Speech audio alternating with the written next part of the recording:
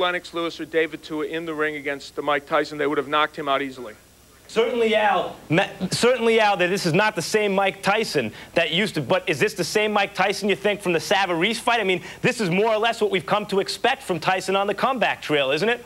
Well, yeah, it's what we expect when he faces men that uh, that are intimidated, and uh, both Lou Savarese was, and apparently Golota was as well, because uh, even after having a second round in which, you know, he didn't fare that poorly, um, he just quit. And I think, you know, the, the wild card here is that this is, you know, the third time Andrew Golota has basically frozen in a fight at a strategic point. So it doesn't it speaks poorly for him of course and it's not tyson's fault that he froze tyson hit him with some decent punches but when you look at tyson when golota even golota in this fight was able to take a step back throw jabs straight right hands throw some very awkward uppercuts. He was able to hit Tyson just about any time he wants. Mike Tyson's defense now is abysmal, and that is going to be his undoing when he faces the winner of Lewis and Tua. No question about it, Al. But even then, when you talk technically, sure, he has plenty of technical problems. He's not hooking off the weave like he used to. He's throwing his jab lazily. There are lots of things, but don't you think it was just inevitable? Eventually, no matter how well Golota boxed, eventually Tyson's got to land something. And then you said three times. It really is four. The first two Bowe fights, then Michael Grant, now now, now, now this fight, eventually, as soon as the heat gets turned up, Golota quits, no? Yeah, well, that's the problem with Andrew Golota. Clearly, he's a guy that lacks intestinal fortitude. He's a man that has not learned how to deal with adversity in the ring, and he's also a man who has a great fear of success.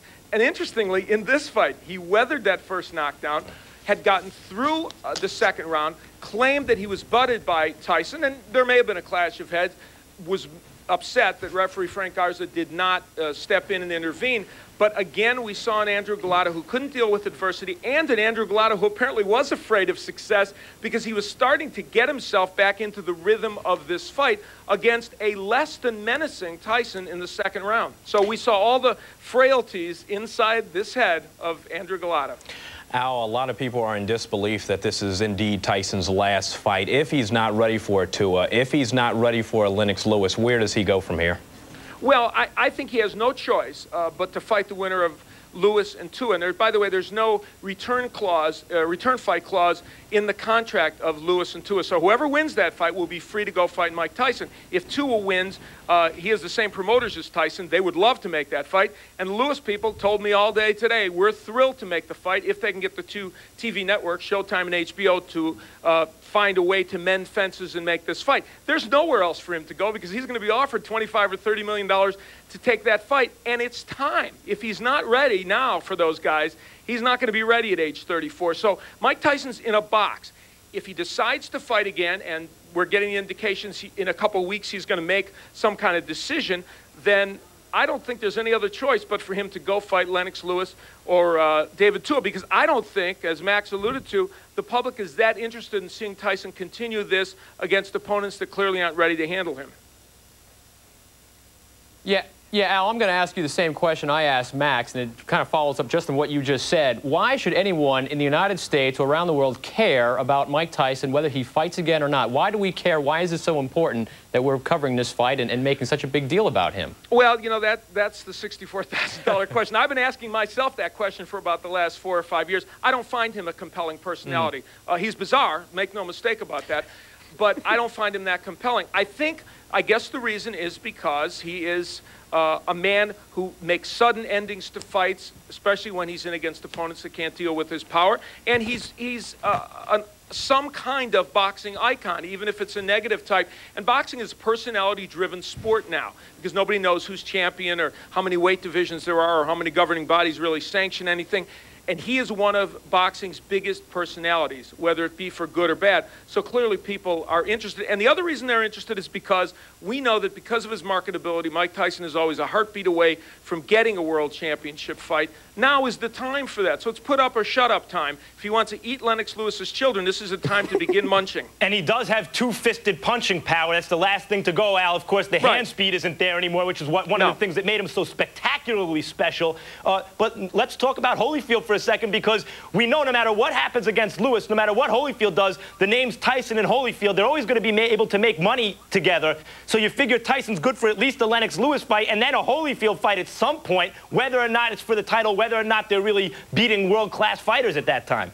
Well, he's, if he's going to fight Holyfield, it will have to be prior to him fighting the Lewis Tua winner because by the time he gets done fighting either the Lewis, uh, either Lennox Lewis or David Tua, the public's not going to care to see him and Evander Holyfield in the ring again. And that would be, in my opinion, a fascinating act by Mike Tyson if he were to go try and fight Holyfield first. In my opinion, that would be an admission by him that he doesn't think he can handle either Tua or Lewis. Holyfield has his number, Al, but what about Ikebae? All right, I'm not supposed to talk about Ike Ibeabuchi right now. Al, Al, Ike Ibeabuchi, all this would be a moot point. What's going on? Okay, all right, Jay, take the, take the next question. Al, all we talk about sometimes for boxing is the sport and the sanctity of the sport and how much it gets embarrassed over and over. Luckily, there was no mayhem in Motown this time around. No yes. one bit anybody, no one hit anyone below the belt from that standpoint, does boxing try to say, hey, this wasn't as bad as it could have been, and, and, you know, can it kind of pat itself on the back after a night like this? I don't know about patting itself on the back because clearly Andrew Golota didn't show uh, a warrior spirit. Mike Tyson wasn't a great fighter, but maybe our expectations of this evening were so low that the fact that there wasn't a riot, the fact that uh, nobody got disqualified, uh, and the fact that there wasn't mayhem is good enough. And to me, it's good enough because we have good things to look ahead to in the future of boxing. In the near future, the Tua Lewis fight, which I think is wonderful, the Vargas Trinidad fight, which you guys alluded to. Those are coming up. Those are, uh, I think, excellent showcases of four excellent fighters. So as a result of that, this is, you know, we always, every time there's something boxing, we say, oh, the sport, you know, can the sport handle it? Can it not handle it? Well, you know, each of these situations have to be taken uh, each as a separate item. You can't link them all together. Uh, and this is a separate night from all those other nights. But yes, it could have been worse tonight. Yeah, Al, and you know what? You, you just alluded to it yourself. Boxing's had a banner year in 2000 after an abysmal 98 and 99. Do you think that the fans are now getting hipper than the media? I mean, I'm very curious to see what the pay-per-view does in this Tyson fight and compare it to, let's say, Vargas and Trinidad, which is not going to generate the same kind of mainstream media coverage, but is one that hardcore boxing fans are salivating for.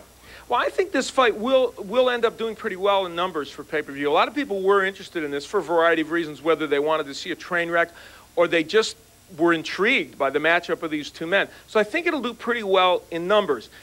How well the Vargas Trinidad fight does and how well Tua Lewis does will depend, in fact, on how educated not only hardcore boxing fans are, but also casual boxing fans, and very much how well we all cover those matches. And those are matches that deserve, I think, uh, the proper kind of attention. All righty, Al and Max, thanks very much. We certainly appreciate uh, both your time. And, Pleasure uh, having me today. and Al will be back a little bit later on in the program. Again, if you're just tuning in, here's the result. Mike Tyson defeats Andrew Golota. It's a third round TKO. Mike Tyson now 49 and 3 overall with 43 wins by knockout. And you see there on the graphic 37 and 0 in non-title bouts. Of course, this a non-title bout. It was scheduled to go 10 rounds. It only lasted just beyond the second round. And you want to keep it locked here on ESPN News because in a little while we will head back out to Michigan for the post-fight news conferences. Mike Tyson and Andrew Golota. We are anxiously awaiting to hear from both of those fighters. You want to keep it right here on ESPN News. I am here with Tommy Brooks, Tom, the trainer of Mike Tyson. And Tommy, Mike Tyson was able to get it done with the big overhand right in round one that knocked Andrew Golota down, and then Golota quit after the second round. Were you surprised that he quit? Uh, yes, I was surprised, and no, I wasn't surprised. Yeah. you know, uh, I was surprised that uh, I thought that he would give it a, a, better shot than what he did. Uh, uh, anything could happen in a fight. Uh, Mike is a tremendous puncher, as everybody knows, you know, and Andrew just, I guess he thought that it, there was a no-win situation for him he tried to say something about a headbutt or something, you know. But uh, from one the replay that I saw, it was clearly a right hand right on the chin. Do you think that cut came from the overhand right that he, or one of the overhand rights that uh, Tyson landed? Oh well, Mike landed a, a, number of right hands and a number of hooks also. So I mean, it could have been any one of those shots. Were you a little surprised, as I was, that Andrew Golota had a game plan that basically involved him throwing a lot of left hooks? Against Tyson, which is a really a recipe for disaster against Tyson, who is a left hook artist. Well, you know, uh, you know, I, I, the guy's in there trying to make a living for his family. You know, I, I that's the best I can say. You know, you're, you're, a diplomat, aren't you? You know, I, you know, the guy. You know, but on serious side though, I think that uh, uh, he needs to get some help uh, psychologically uh, to overcome this this um, fear or whatever it is that he has. Is it a fear of success with Andrew Golota, do you think? I know he's not your fighter, but I mean, as you observe him. I think it's a combination of things because the guy has all the talent in the world, Al, and uh, I've seen him in some fights. Uh, uh, like with a couple of fights with Bowe. You know, yeah. he, he was way ahead on points. The fight with Grant, he was ahead, you know. And, uh, uh, you know, I, I, said initially that he's a front runner, and he's proven it to be that way, you know. Uh, what I mean by a front runner is as long as he's out ahead on points, you know, he'll stay with the fight. But uh, when it starts going, going south on him, he'll just fold his tents. Let's talk a little bit about your fighter, Mike Tyson. It wasn't a, a brilliant performance, but he got done what he needed to get done. Uh, what would you? How would you grade him? Well, I, would give Mike a, a B on it. Uh, we had been camped too long. Uh, our first fight, well, the fight was scheduled to fight. We were scheduled to fight on September the 9th, I think it was, and then they pushed the fight back to this one on uh, uh, we've been training. We've been in the camp since July, the end of July. So uh, Mike is just tired. You know, he's tired of hearing me. He's tired of looking at me. You know, and uh, you know, you can only train for so long. You know, before you get bored with it. Mm. But uh, could he have been a little overtrained? I wouldn't say no. overtrained. I, I would say uh, just tired and bored with it. You know, yeah. and uh, but I you know I, I gave him like I said a B, mm-hmm. B plus. You know. Well, uh, obviously, you were surprised, as we all were, when he suggested that maybe he wasn't going to fight again after this. What is next for him, and will he fight again? I have no idea. I haven't spoke to Mike about it. Uh, uh, I, I, would imagine that he'll tell Shelly, and uh, we'll get lined up on a date, and then I'll go to work on an opponent. Do you think he will fight again? I'm hoping so. Okay. Like I said, you know, as I told you yesterday, you know, I signed on to win the title, and uh, this isn't the title, so I think we got another couple fights coming. All right, Tommy, congratulations on the win this evening. Thank you, brother. Tommy Brooks, one of the classiest guys and best trainers in boxing. Let's go back to the studio. Gentlemen, thank you. Those will be the best answers you get from about Mike Tyson's future. They have just announced that neither Tyson nor Golota will answer questions from the press tonight. The only people you'll hear from Shelly Finkel, and Tommy Brooks. Interesting things going on here in Detroit as, again, there is so much talk about Mike Tyson's possible future. And right now, we won't hear from Mike Tyson. That's it for now from Detroit. We'll send it now back to the studio. Thank you, Scott. That's interesting. Tyson, Golota, neither one will say anything. They won't be at the news conference. We'll hear from their trainers as soon as they step up to the podium. Post-fight news conferences right here on ESPN News. We'll bring it to you as soon as it becomes available. For those just tuning in, Mike Tyson defeats Andrew Golota in Detroit. A third round TKO. Tyson knocked Golota down in the first round. Golota did not come out for the third round, but because he completed the second round, it goes down as a third round TKO. Now, we won't hear Golota at the news conference, but we will hear from Andrew Golota, who's standing by with Al Bernstein.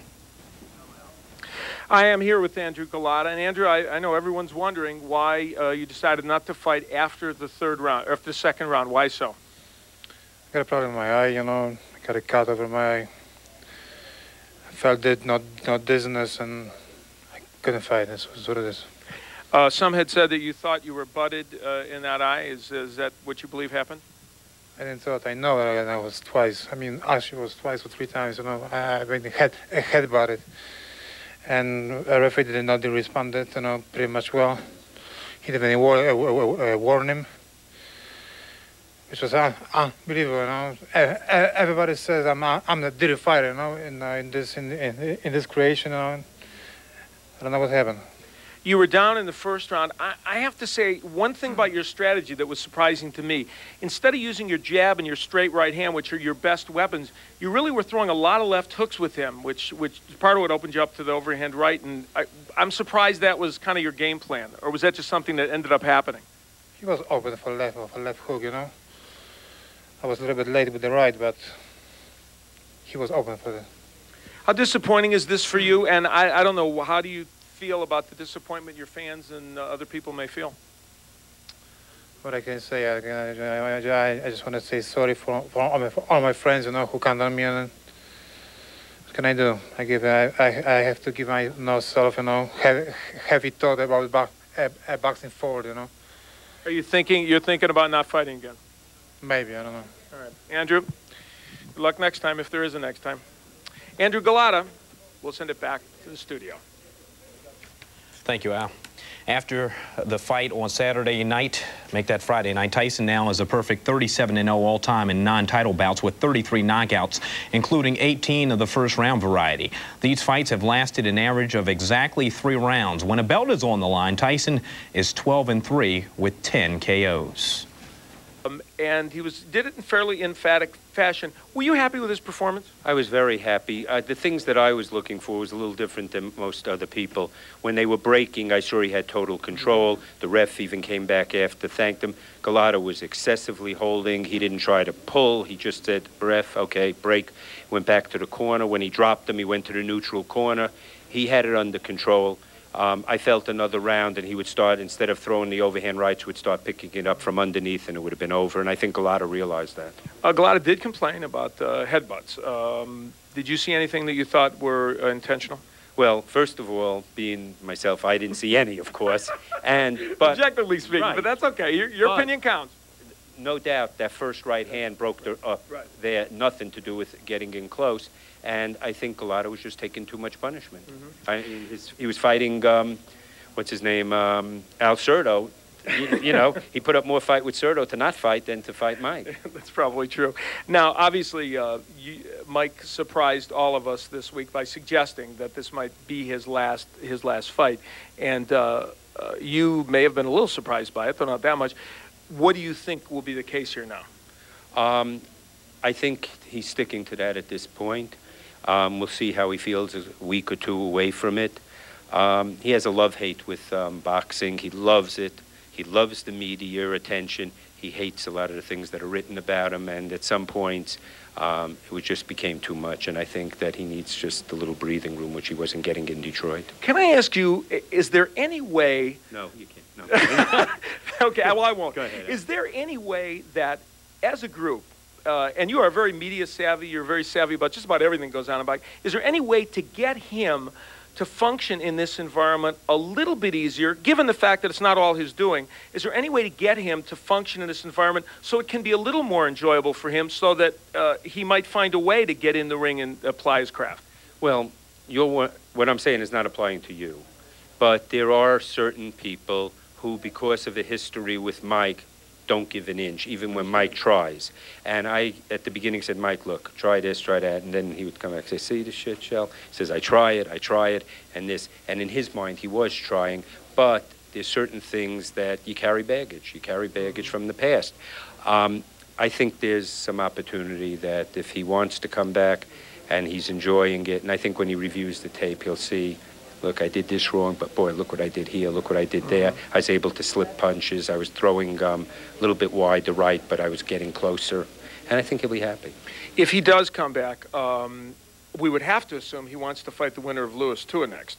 Um, I would assume so. Um, he might want to fight um, Holyfield and the winner of Lewis um, and Tua. Um, I don't think he's intimidated by any of them. And I believe that the Tyson that came in today would have beat the Holyfield that beat him. The thing is, he trained for this, which he wasn't training then. But um, we'll see. Okay, thank you very much. Shelley Finkel, the boxing advisor of uh, Mike Tyson. We have to throw things back to the studio right now. Artie Al, thanks very much. Good job. Tyson says this is his last fight. We'll have to wait and see if Tyson ever steps inside the ring again. Here are some other past heavyweight boxing greats and what they did in their last fights. You notice Muhammad Ali lost to Trevor Berbick. Ironically, Tyson beat Burbeck for his first heavyweight title in 1986. And we have just learned that Andrew Golota will be attending the post-fight news conference. So as soon as he gets up to the podium, we will send it back to the Palace of Auburn Hills. Got a headbutt. Uh, re- a, re- re- re- a referee didn't re- uh, uh, respond pretty, pretty much well as, as he's uh, supposed to. He But you're a warrior, Andrew. You're a didn't fighter. him. But you're you're a fighter. The, the crowd pays. I got dizziness in, the, in, the, in, the- in my head. That's it. You- What what made you dizzy? Was it that first knockdown? no, no, no. What what about the knockdown? Did you did you really recover from that knockdown at the end of the first round? Actually, I was just sleep. You know, I I, I, I hasn't been uh, hit very well. You know, just I, you know, I was sleep, was sleep on the down, and and that's it. I, I, I, I stood up. Wh- what do you say to the people who are driving home now? The people who spent the $49.95 for the pay-per-view, the people who were rooting for you, your fans and boxing fans all over the world at this great and grave disappointment to the sport. Listen, boxing is a very, very difficult sport, you know. And I'm sorry for for, for all, all, all, all, my fans, you know, who, who count on me, you know. I just know they have my day, day to day. Andrew, do you want to fight again? Do you want to continue with the sport you've been in since a, a very young man, since a young teenager? I have to very, I mean, you know, give myself very, very heavy, heavy thought, you know, about it. So I don't know. I have a, a, a reputation as a dairy fighter, you know, and, and and this particular reason, you know, somebody had, you know, headbutt me, you know, and just, you know, and no, and no, no, nobody took, uh, took care of this, you know. He didn't have, have he didn't have hard warning, you know. All right, a very distraught and upset Andrew Golota, as are most people. Well, that's what one Mike Tyson punch will do to you. That's very scary. After Friday's fight, Tyson now a perfect 37-0 all-time in non-title bouts with 33 knockouts, including 18 of the first round variety. We're going to send you out right now to the Palace of Auburn Hills. Tyson's trainer, Tommy Brooks, at the mic. Mike has the potential to be the champion again. Um, that's why I signed on. I signed on to, to, to train the champion of the world, the undisputed champion of the world. He has all the potential to do so, but if he doesn't want to fight, I mean, that's on Mike, you know. Uh, I'm behind him 100%. Yeah, but. Right.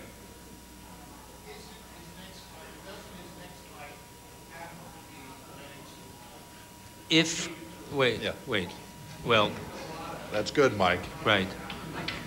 There's, first of all, everything is in a time frame. If Mike decides to take and not fight and come back in five years, it can't be Lewis or Tua. But um, everything being equal, it's the winner of that or Holyfield, then the winner of that. Hey, uh, this is for Gary. Uh, uh, where does this put Andrew now? I mean, is he going to, can he even be marketable after this fight, after what he did tonight?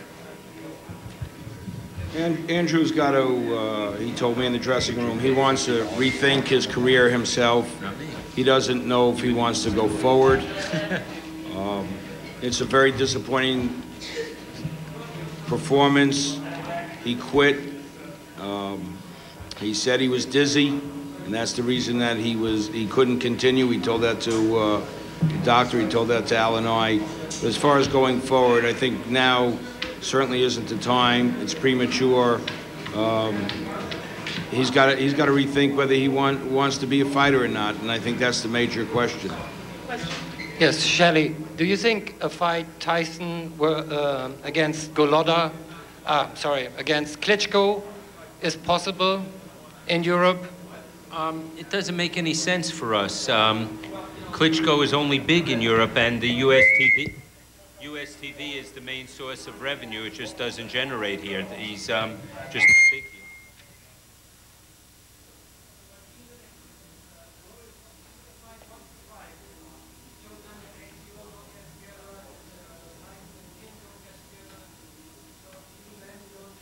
Well, I'll cross that bridge when I have to. Right now, Mike's not fighting, so I'm not even thinking about that. And before the Klitschko, I have two other options I'll be pursuing. I just told you. Can I ask both Shelley and Tommy, do you honestly believe in your heart of hearts? I'm sorry? Sorry, here, Shelley. Oh, oh, hi. Do you, do you believe in your heart of hearts that Mike will not fight again? Will you try to actively talk to him about his future and find out where he's going? Do you actually Well- believe he won't fight again? The first thing is to give Mike some breathing room, which I will. And then, within the next week or so, him and I will reach out for each other. That always happens. And at that point, I'll see if um, what he feels today is how he still feels. And if he still feels that, then we'll discuss what else he wants to do. Um, people change careers. If he decides to fight Shelley after November 11th, Lennox Lewis is more than willing to make the fight. Is HBO? I don't know. We'll sit down and we'll try to work it out. Okay. Well, Tua definitely is on board for everything. Not after November 11th. Uh, Al, you you saw Al? Yeah. Al, you, you sound extremely disillusioned. What what is that about? Why, why are you so disillusioned with the whole fighting game? Well, because I think the, the fighters today are half a fags. They get too much money. Listen, I- I'm going to give you a quick example. A quick example. Two fighters come into a gym, and they both broke, and they're boxing each other. And one guy gets a, hit with a good punch, and he, uh, he goes back to the corner and says, "I'll get him this round, out the son of a b." You know, same fighter, same two fighters. One has a half a million dollars in his kick. He's got his girlfriend waiting, waiting downstairs in his car, and he gets hit with the same punch. You know what he thinks? Wow, I'll probably have a scar on my face. Wow, Jesus, uh, you know, I wonder. He ain't thinking about getting back to this here guy. They're not hungry no more. Everybody's everybody's got too much money in their pockets. You got to be hungry in this business. Nah, give Uh, the money to charity if they want to give it. Give it to the poor people. Shelley, how many times before has Mike ever said to you or to anyone that that was it, that he was done? Is this, uh, I know after the Orlin Norris fight, he said he was done. Uh, is this something he does all the Well, time? No. And, you know, he said after the Orlin Norris, I don't think I want this anymore. Yesterday he was pretty emphatic. And he doesn't do this um, often, but let me just ex- say something. There's very few people in this room who are on the other side of some writings or other things that really can hurt someone. So it's very hard for someone to understand, and I'm not saying whether he's at fault or not, I'm just saying put that aside. The pressure and the good that come with being Mike Tyson is overwhelming, and the bad hurts more than you can imagine. And at points, I think he just says to himself, hey, this is too much. And Shelley, yes, sir. you never box in your life. You're So wrong. don't try to, whether you're, You're a wrong, four-round fighter or you're fighting for the world ti- title, you got the same feeling. You understand? Every every four-round kid out there thinks he can beat the world champion. Otherwise, he won't be in the business. Al, we're not talking about the same thing. Well, what are you talking The about? The press. The press, I was talking I'll about. help you, Shelley. Well, the press hasn't fought either. Right, okay, go ahead. Yeah, you Go ahead, guys Shelley, think. No, that, that's it. I just Bunch got a report Cats. that Andrew did go, which hospital, Jay, was it, the uh, Pontiac? uh, Pontiac Oakland Hospital. uh, Yeah, can I say something? You know, I, it seems like I'm hard on my fighter, but yeah, I'm so disappointed in the sense that I know, and he'll vouch for me, Lou Duva down there. The guy's got the ability. He's got so much talent out there that isn't funny. I know he could do it. I know he could beat up just about anybody.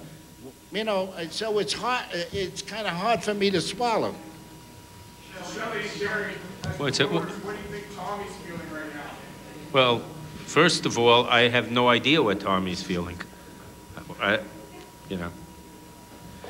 Rich? Um, I think I had some feeling about it. I didn't expect it yesterday. Um, but, you know, it wasn't like, whoa. Um, I was surprised he told Al Bernstein first, and that was what happened.